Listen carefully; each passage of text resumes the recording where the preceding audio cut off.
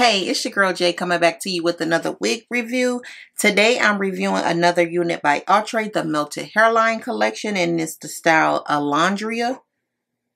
She is in the color DR Chocolate Swirl. She comes in a few natural colors as well as a host of special color. She has HD lace. She does come with baby hairs and the elastic band as well as a frontal effect hairline with the redesigned comfort fit ear contour. She is heat safe up to 400 degrees Fahrenheit and this is the stock card. Get into the cap construction. She comes with a comb on the right and left, comb in the back, adjustable straps, and here's the elastic band. Baby hairs, and she is a right side part. So I'm going to go ahead and put her on and style her, and then I'll be back with my final thoughts.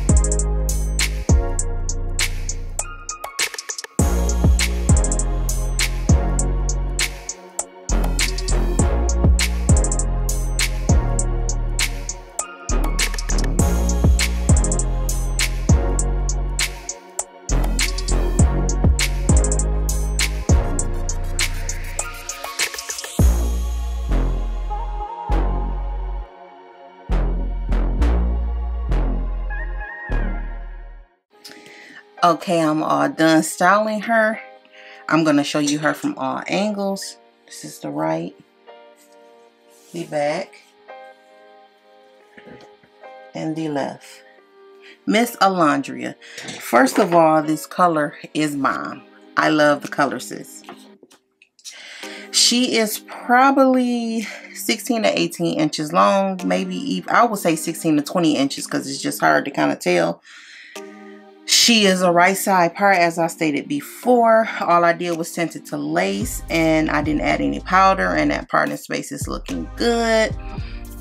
I love the curl pattern on her. Now I did get some shedding when I was brushing her out. Uh, I probably will not continue to brush her. I will just probably use hands. I did not want to use the baby hairs on her. They were to me, in my opinion, you didn't need them.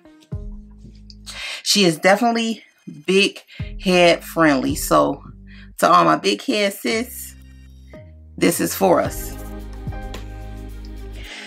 Other than that, the texture feels like a yaki texture somewhat. I used this because she felt really, really dry. So that kind of helped it out a little bit. I didn't want to put any other chemicals in her. I just wanted to just use that besides the wax stick and kind of pressing out the front up in here. Now, in this parting space, I tried to kind of like part it to get it look to look somewhat beautiful, but it's kind of like a gap like up in here. Up in there. And I think it's a mishap, like they just missed some hair, sis.